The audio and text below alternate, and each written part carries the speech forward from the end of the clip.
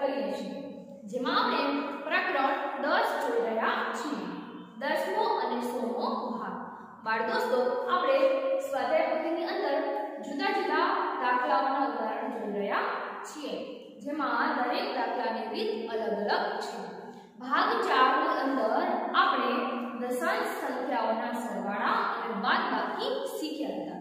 બાળ દોસ્તો, તમને યાદ છે? તમે ભાગ પાડોની અંદર તમે આકૃતિમાંથી કેટલામો ભાગ રંગ કરેલો છે અને કેટલામો ભાગ સફેદ છે એ શીખી ગયા છો. આપણે એક સંખ્યાઓ એટલે કે દશાંશ સંખ્યાઓ આજે આપણે આ પ્રકરણની અંદર પણ એ શીખવાના છીએ. તમારે દશાંશ સંખ્યાઓ શોધવાની છે. આપેલ આકૃતિમાંથી તમારે શું શોધવાનું છે? દશાંશ સંખ્યા શોધવાની છે. જેમ કે પહેલું ઉદાહરણ જોઈએ, તો જુઓ મના કરેલા છે.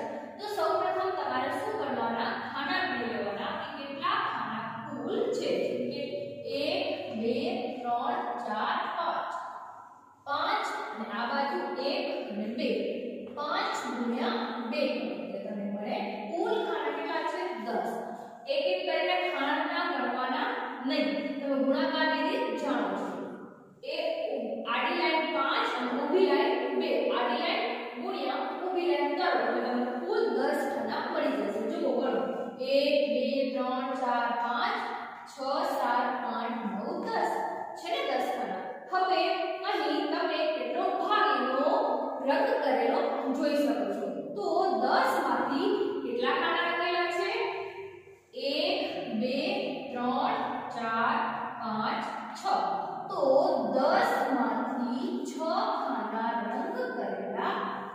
તો આ આપણને શું મળી? દશાંશ સંખ્યા.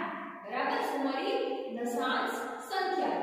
તો એવી જ રીતે બાકીના ઉદાહરણો આપણે જોઈએ તો અહીં વર્તુળના કેટલાક ભાગ કરેલા છે તો સૌપ્રથમ શું કરીશું કેટલા ભાગ છે એ જોઈશું તો ગણીએ આપણે અહીં આપણે સીધો ગુણાકાર કરી શકશું નહીં શા માટે કારણ કે અહીં વર્તુળ છે આપણે ક્ષેત્રફળ અને પરિમિતિ શીખી ગયા છીએ લંબચોરસનું આપણે શું શોધ્યું ક્ષેત્રફળ લંબાઈ ગુણ્યા પહોળાઈ કરો એટલે કુલ ક્ષેત્ર કેટલું છે તમને ખ્યાલ? આવી જશે. હવે આપણે વર્તુળનું જોઈએ. તો પહેલા ગણવાની શરૂઆત કરીએ. 1 2 3 4 5 6 7 8 9 10 અહીં પણ કેટલા છે? 10 હવે અહીં 10 ખાનામાંથી કેટલા ખાનાઓ રંગ કરેલા છે? તો 10 માંથી કેટલાનો ભાગ રંગ કરેલો છે. એ આપણે જોઈએ તો જુઓ 1 2 3 4 કેટલો 10 માંથી 4 ખાના રંગ કરેલા છે. ખ્યાલ આવ્યો? 10 ભાગમાંથી 4 ભાગ રંગ કરેલા છે. ત્યારબાદ, બીજું આપણે ઉદાહરણ જોઈએ તો અહીં પણ એક લંબચોરસ છે. અને એના જુદા જુદા સરખા ભાગ કરેલા છે પરંતુ કુલ કેટલા ખાના છે એ શોધવા માટે આપણે જોઈએ 1 2 3 4 5 5 1 અને 2 બે પાંચ દુ દસ આપણને કુલ ખાના મળી ગયા દસ હવે આ દસ ખાનામાંથી કેટલા ખાના રંગ કરેલા છે તો એક બે ત્રણ ચાર તો આપણને દશાંશ સંખ્યા મળી ચાર દશાંશ. શું મળી ચાર દશાંશ. ખ્યાલ આવ્યો બાળ દોસ્તો હવે આપણે બીજું ઉદાહરણ જોઈએ તો અહીં આ મોટું લંબચોરસ છે. એના કુલ કેટલા ખાના છે?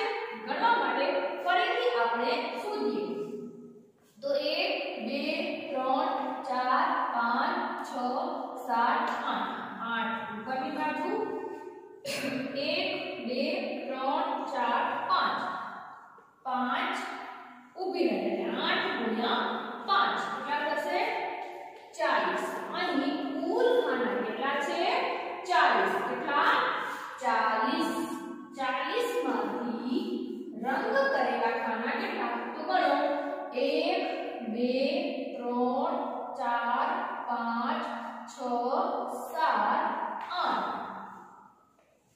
આઠ ખાના રંગ કરેલા છે. બાળ દોસ્તો અહીં 8 અંશ અને 40 છેદમાં. એટલે આપણે ઉડાડી શકીએ છીએ. અહીં ભાગ 40 એટલે 8 એકા 8 8 50 40 એટલે આપણને દશાંશ સંખ્યા મળી એક પંચમાંશ. કેટલી મળી એક પંચમાંશ. બાળ દોસ્તો, પ્રશ્ન નંબર 18 માં આપેલ આકૃતિઓ પરથી આપણે દશાંશ સંખ્યા શોધી હવે ત્યારબાદ પ્રશ્ન નંબર 19 ની અંદર આપેલ આકૃતિની અંદર આપેલ દશાંશ સંખ્યાનો રંગ પૂરવાનો છે. અહીં શું કરવાનું છે? અહીં આપણે શું જોયું? રંગ પૂરેલો હતો. અને આપણે દશાંશ સંખ્યાઓ શોધી હવે આપણે દશાંશ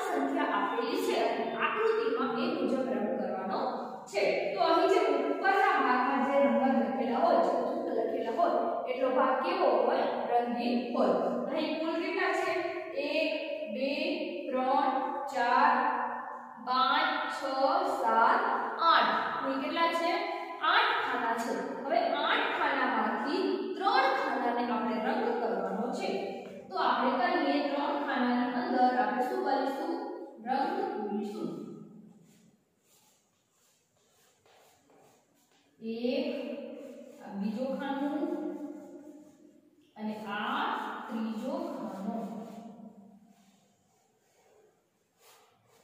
હેલો